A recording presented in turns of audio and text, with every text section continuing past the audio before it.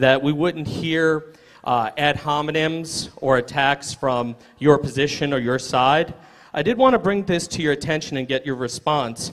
Uh, after the panel that you appeared on with the late uh, Christopher Hitchens, you referred to him in an interview with Christian Radio as, quote, and this is on YouTube, Weasley, oily, and lacking in intellectual substance. Great success! You then referred to in your debate with Richard Carrier while he was there to him as a hack. You also referred to fans as Richard Dawkins in an interview, and this is also on YouTube. Dawkins is so uh, popular because, he, because people are so unsophisticated, inept, sophomoric, they cannot think logically, uninformed, silly, ignorant, and the result, and this is your words, of an educational system that has been dumbed down. Ms. Uh, Ms. Craig, uh, quite frankly, is this hypocrisy or is this just a glimpse of the real William Lane Craig? Now, it's been said that it's all fun and games until someone pulls out an M16, or in this case, a Colt AR 15A2. Well, I, I, I think it's a glimpse of the real William Lane Craig. Uh, um, I, no, no, I, I, I, don't know that, but, but no, um, maybe it's important to describe what an ad hominem is. That means literally against the man.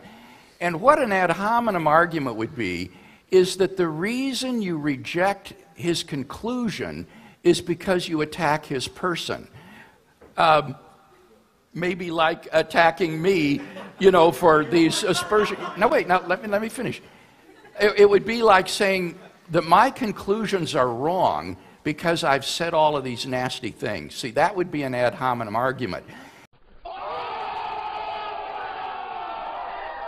But in none of these cases that you've quoted, where you've compiled words uh, not strung together at once, but you put them together, in none of these cases, I think, will you find that I ever reject a person's argument or conclusions on that basis. Rather, these were probably said in response to questions like tonight, where I said some pretty negative things about uh, folks rejecting God for emotional reasons rather than intellectual reasons. And I would certainly reiterate what I said about the lack of sophistication and the dumbed down educational system.